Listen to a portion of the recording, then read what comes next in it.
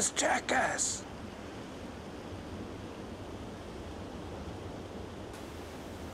Yep, it used to be called the jackass penguin, but it's nowadays referred to as the African penguin. Well, as you can see, I'm near Christmas Bay, where the penguin is.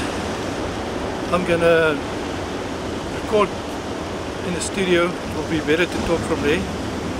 Amazing this penguin could wash up here.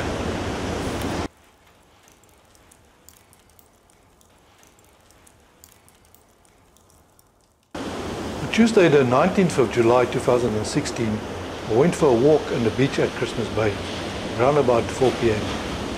That is when I spotted the dead object which I first thought was a dead seagull but when I saw the legs and flippers I realized it was a penguin. I was quite amazed. I went to fetch my camera and then I took some pictures. Later I contacted Mr. Simon Bundy, a local environmental specialist and he was also surprised and interested. He confirmed that it was indeed an African penguin. This morning of the 20th, I went again to shoot the video material for my vlog. And, this, and the penguin was still in the exact same spot where I found it. I was later contacted by Ms. Di Jones of the Dolphin Coast Conservancy and I retrieved the penguin for them so that further research could be done on it. The African penguin is mostly found in 24 different islands from Nelson Mandela Bay right around the coast towards the west and up the western coast of South Africa and Namibia. They do not occur in KwaZulu-Natal as a rule. Nelson Mandela Bay is about 750 kilometers coastline-wise away from Ballito. There's also a colony in captivity at the Eastern Cape's East London Aquarium at the Esplanade and that is closer at about 500 kilometers. They also keep penguins at the SeaWorld, at Ushaka Marine World in Durban, and that is about 40 kilometers straight line over the sea from here. I spoke to Ann Kunz at SeaWorld to establish whether they were missing a penguin. No, they don't, but she enlightened me a bit more. According to her, it happens often this time of the year, and they had one brought in last week and there were about five known strandings, either dead or alive, so far this year in KZN. The one they received, apparently, got washed out in St. Lucia, which is even more north. They are lured into the big waters when the sardines come past Nelson Mandela Bay in their seasonal migration, and they follow them. The sardines obviously travel quite far, for hundreds of kilometers, and attract a lot of predators. In this process, the penguins may get trapped in the currents and in storms. And if they lose the shoals of sardines, they also get in trouble to find food that is suitable for them. They then either die at sea and get washed out, or they come out in a totally exhausted, near-death state. We had a huge storm a few days ago, and that should explain that part. On the 30th of April 2016, I took some photos of the penguins that reside at the Boulders Beach in Simonstown in the Western Cape. Look at these photos. The adults are white and black and they are very similar in the way that the patterns are arranged over their bodies. They all basically have this white question mark shape on the side of the heads and a pink gland above the eye with which they sense and control body temperature. The feathery coating of their body has a wax-like appearance and is shining to some extent.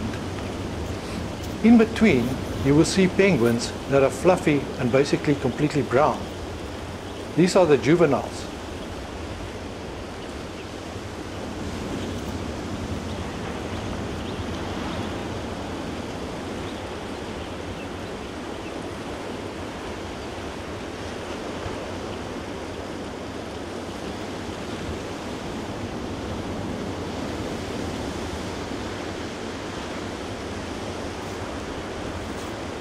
So just by looking at this little penguin, which seems to be about 60 centimeters from feet to beak, we must assume that it was just entering adulthood.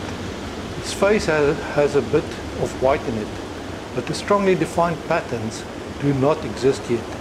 It is not brown anymore, It is black and white and it is not clear if the pink glands above the eyes were formed already. Such a young bird must have had a hard time in a very difficult sea to end up all the way here. We must admire the endurance of these animals, the fact that some of them actually makes it out alive.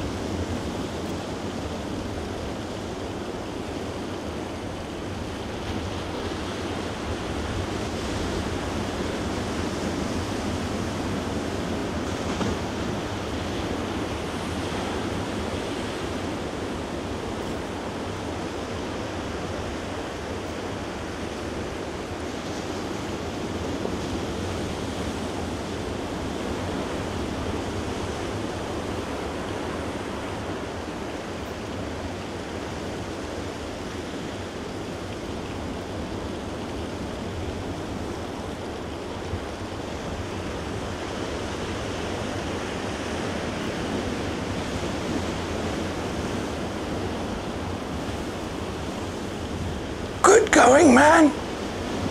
That was quick and informative. I liked it. Keep it up, man. Thanks, gangster man. Yes, man, we need to get the ball rolling. Reporting is now in, the in the hands of the citizen, you know? and that doesn't mean it has to be without gravy. We just need to know, uh, we, we just need the right amount of support, eh? and we will make this great for all of them.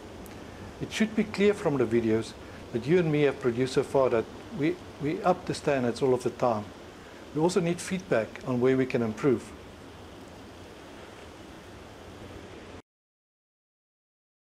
Hi there everybody.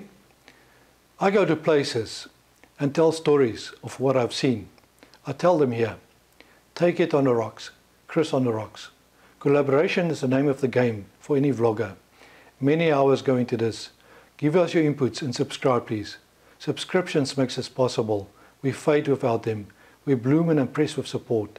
Please like my videos and please share it to friends. Soon to follow will be regular postings on ship salvaging coming from a huge stock of video material that I've collected over two years. Many stories to tell. Also about the beauty of the world I live in. Meditations in nature my style. Work together. This is going to be fun for all of us. Sometimes opinions as well. Views of the world. It will all be there. I want to show you my world as it is and I hope it will be funny as well. In time I want to have a one size fits it all channel.